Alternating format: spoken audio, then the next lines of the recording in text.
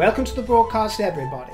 Here is the order of service today. Some Harkle business, then I'm going to have a go at a viewer, and then royalty. Okay, so you can skip ahead if you wish to, but we will have to begin with the Harkles because it's very curious.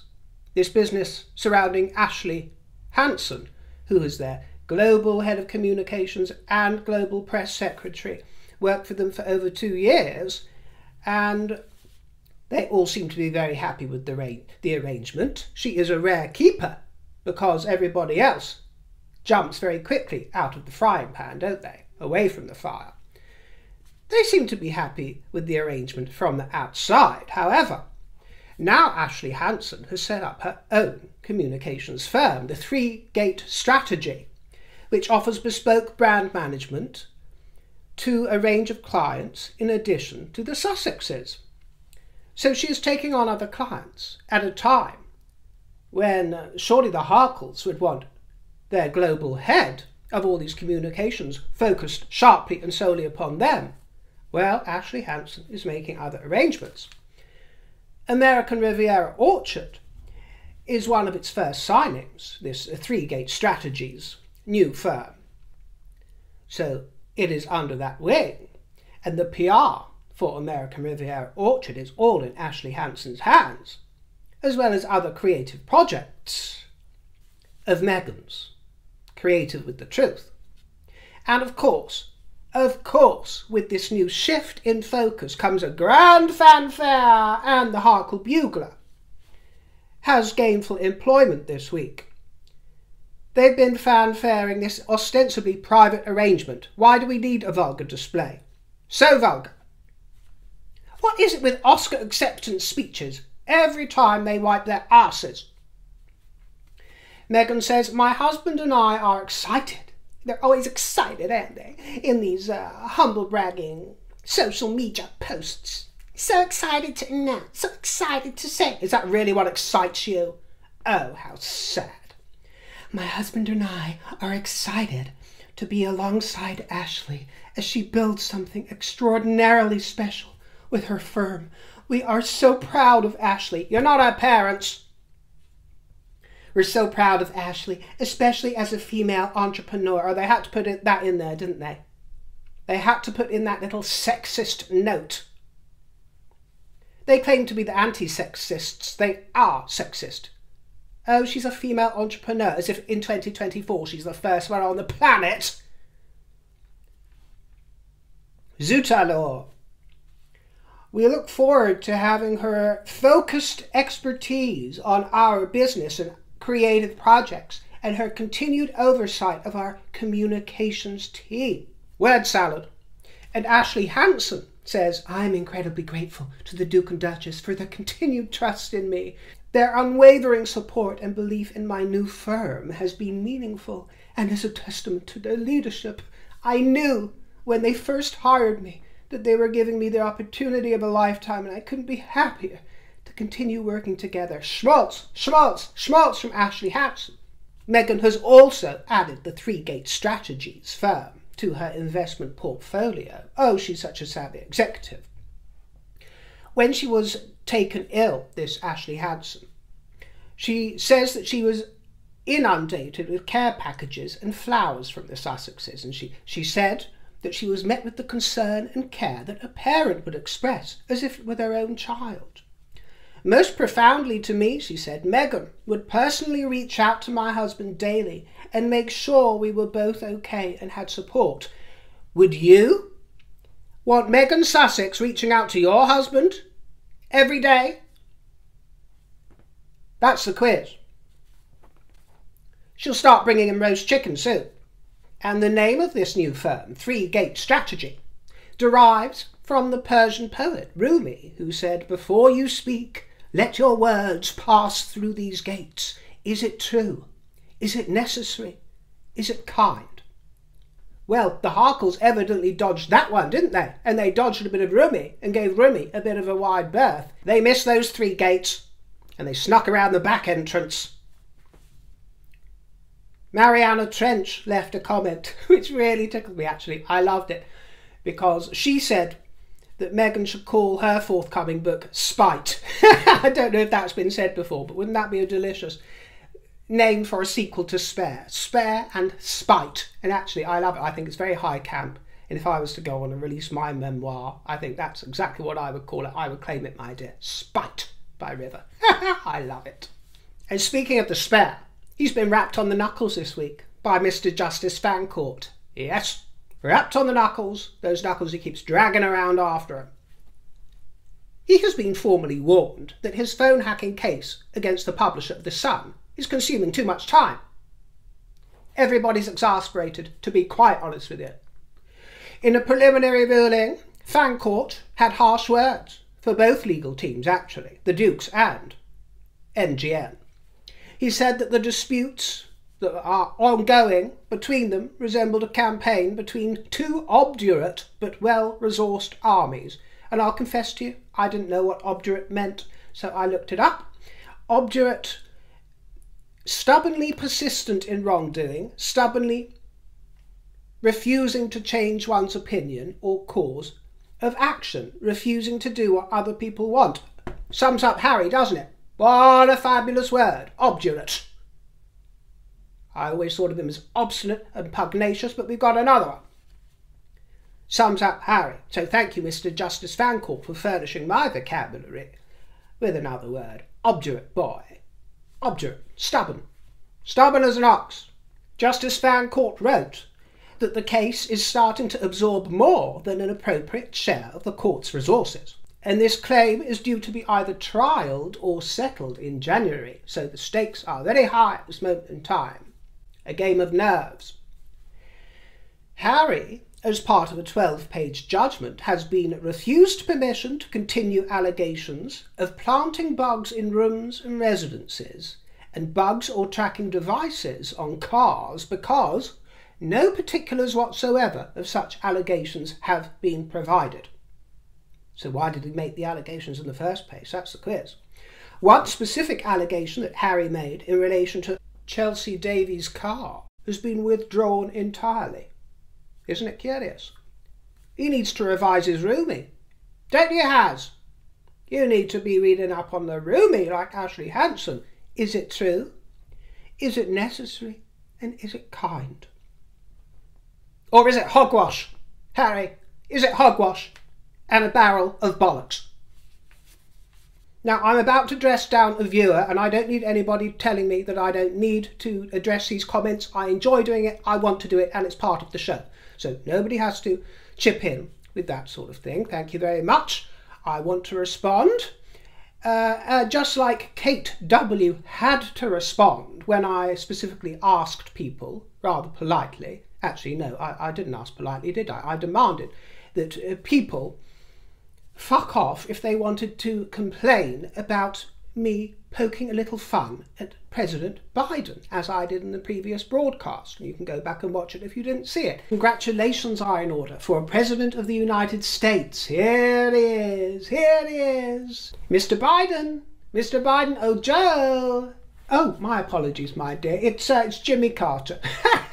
but it was a little comedy moment uh, that made most of you chuckle and receive it, no matter your party persuasion, as you wanted to. I'm sure I'll get one or two comments spring up from people who are offended by what I just said. Save yourself before you announce and flounce. But Kate W couldn't resist, so she's going to get it before anyone complains. She's going to get it because she asked for it.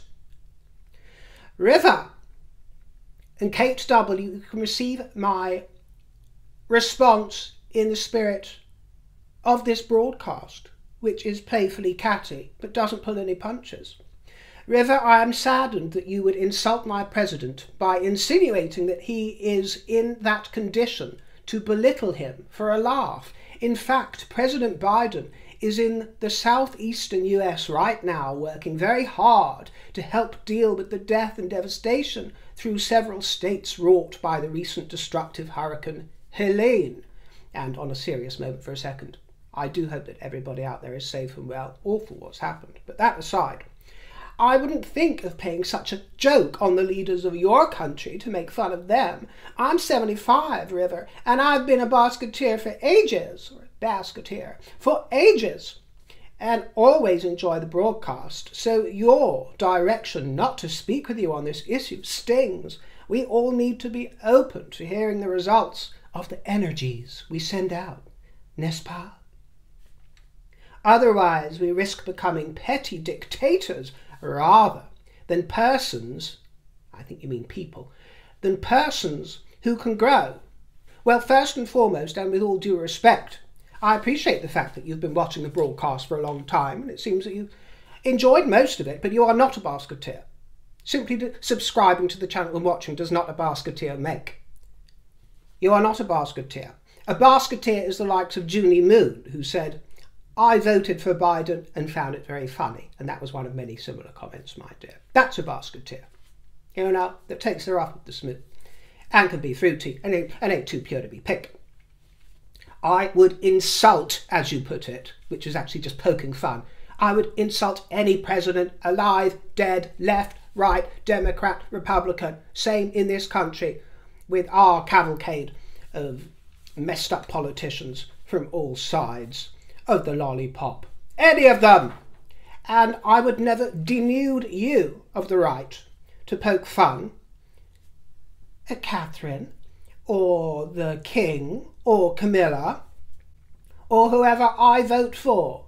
Well, uh, to put that in context, I might dress you down or delete comments disparaging my Queen Camilla, for example, but I wouldn't denude you of the right to speak on your platform as you wish and try to police your language or silence you. Do you understand? That's the difference. This is my playground. I didn't invite you here. You came to me to watch. So you allow me to hold forth as I wish to. Do you understand? Maybe now you do. Uh, so if I'm a petty dictator, then so are you, my dear. So are you.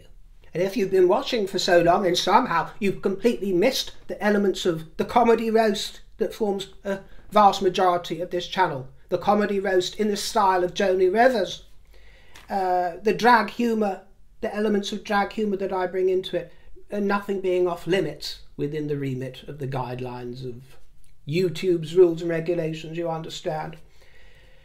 I held the late Queen Elizabeth in the highest regard, as you all know, the highest regard possible, but I still pointed out the fact that during her last Christmas message, her bosom was hanging down on her desk, and you know, some might not like that, and I get it, it might not be to their taste. Well, that's their decision, but there should be a place and places for irreverence. And quite frankly, Kate W., I would never associate with the likes of you, because you are sanctimonious and impudent, and joyless and rather humourless, and I'm sure you've got many redeeming features, my dear. But you decided that you had to uh, deliver your little tuppence worth of outrage into my comment section when I especially told you not to. That was your right. I cannot prevent you from doing so, but I will respond in kind. I will respond in kind. I have no desire to dictate how you feel, my dear, but I will I will dictate. I will dictate who is welcome in my playground and who is not. And that's the final word. Get it? Got it? Good. So, Kate W. I wish you very well. I wish you blessings and healing. I really do. In all seriousness. But don't fuck with me. Queen Camilla I visited the site of the new King Charles III sacristy building at Westminster Abbey, which will welcome visitors and serve as a gathering place on state occasions. Her Majesty is patron of this new project, which is being built on the site of the original medieval Great Sacristy, constructed in the 1250s, which was used by monks to store sacred items and to form processions, playing a key role in abbey life. She wore her scallop suit by Brucey Oldfield with Chanel pumpies, and the beguiling stone is her diamond and moonstone brooch. Exquisite. For the Prince of Wales, it was time to faire de la natation. And I don't mean to pour warm water on the subject of swimming pools, which we're about to discuss. I love swimming pools and I love swimming, but I went off the idea of them when I learned how much urine is found in public pools and baths. I urge you not to Google it, my dear, or you will never want to dip a toe into a public bathing pool again. And I don't care if the chlorine kills it off, so they say. Urine's urine. And I don't go swimming in other people's urine, my dear, no. Um, and the ocean and our lakes, and sad to say, our rivers, aren't much better these days, are they?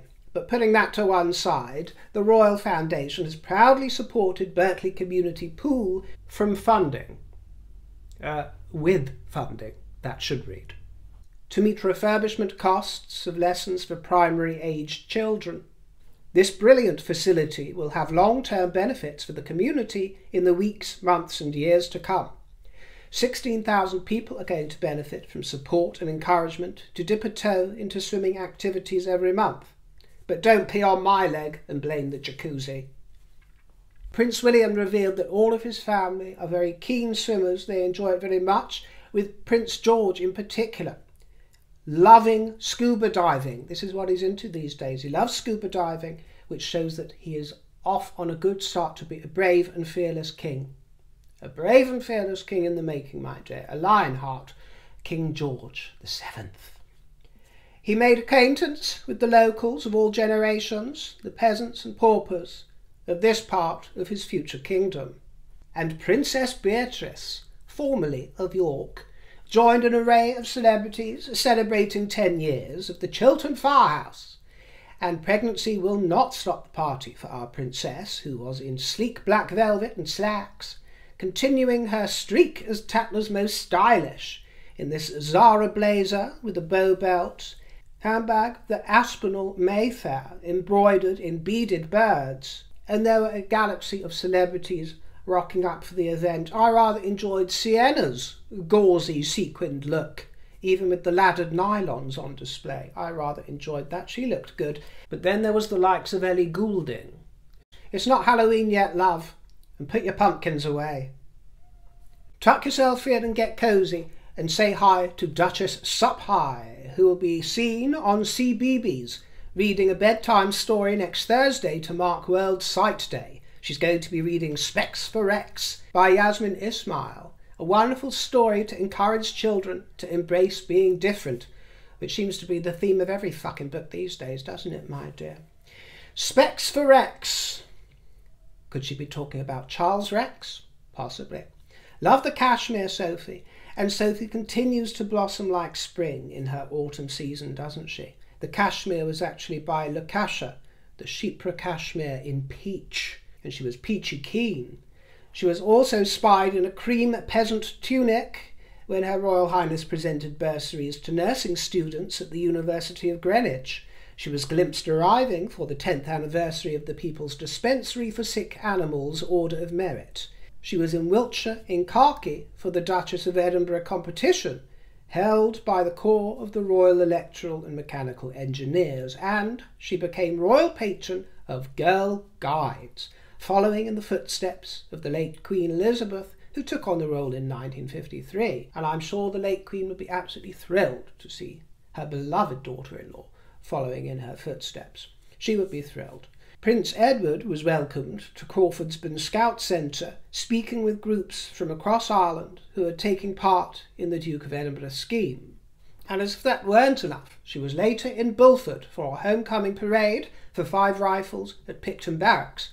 She presented mini rifles, and I'm not sure how PC that is. Mini rifles for the children. There we go rifles and medals to the bands of those who had been away on operation, and the gown was quite charming, I've got to tell you. Erdem floral jacquard, with a clutch in fuchsia satin, and the regimental brooch of the 5th Battalion of the Rifles. And to mark the 30th anniversary of Poetry Day, the poet laureate Simon Armitage has written an original poem based on this year's theme of counting the poem is a haiku, a Japanese type of short form poetry which involves counting as it has a strict five syllable, seven syllable, five syllable structure. Maths. Smash your abacus, hurl it into the night sky. Uncountable stars. A fruit basket without basketeers is indeed like a night without stars. So I thank all of you so very much for glittering in my fruity firmament. I look forward to seeing you next time, my dear. Leave me a juicy comment if you wish to. Not an impudent one, just juicy and fruity. And feel free to send me a little tip for Sunday service in my tip jar in the description box. Oh, it's not Sunday, is it? It's Saturday. oh dear. See you next time, my dears. Ta-ra and toodle pip. Lots of love.